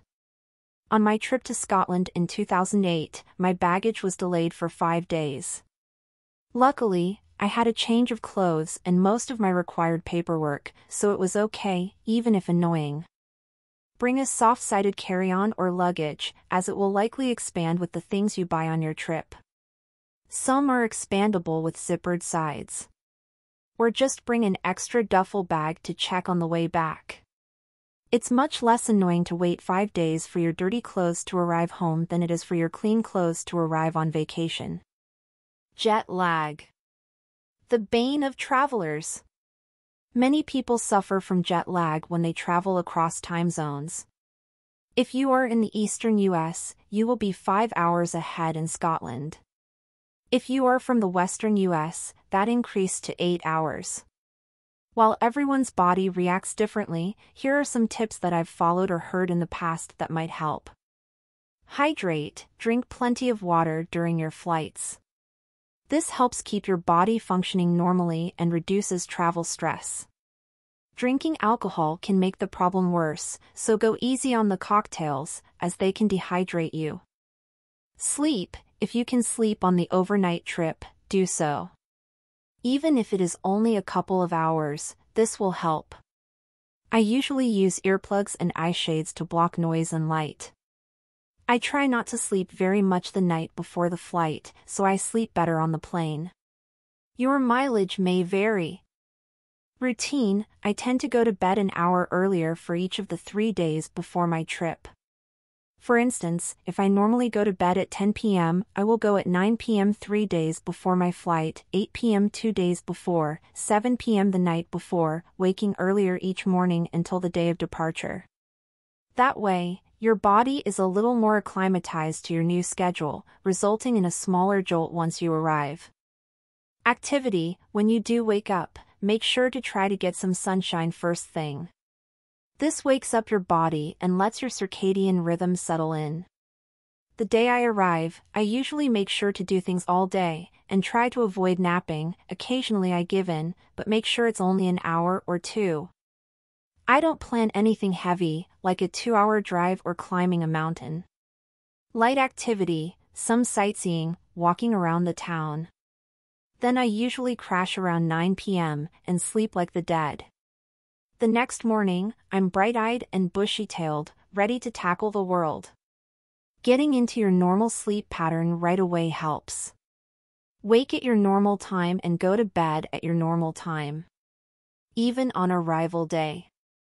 Sugar levels, invariably, my husband has a sugar crash halfway through the second day of the trip. We keep regular meal times and top up with power bars to counter any problems. Your body goes through a lot of stress through travel, especially if you are older or have muscular slash metabolic issues, such as diabetes or fibromyalgia. Plan accordingly and make sure you have supplies on hand to combat them. Ready to go? Don't forget the smile. Don't forget to pack the most important thing for any trip, a great attitude. This small item can make the worst disaster into a hilarious story and get you through a difficult situation with authorities, and can take the biggest lemon and make lemonade out of it. After all, how can it be terrible? You're in Scotland. A trip to Scotland will be full of wonderful memories, historic experiences, and meeting wonderful folks. Whether you get addicted like I have or are happy with going once and treasuring the memory forever, you will have an exquisite time.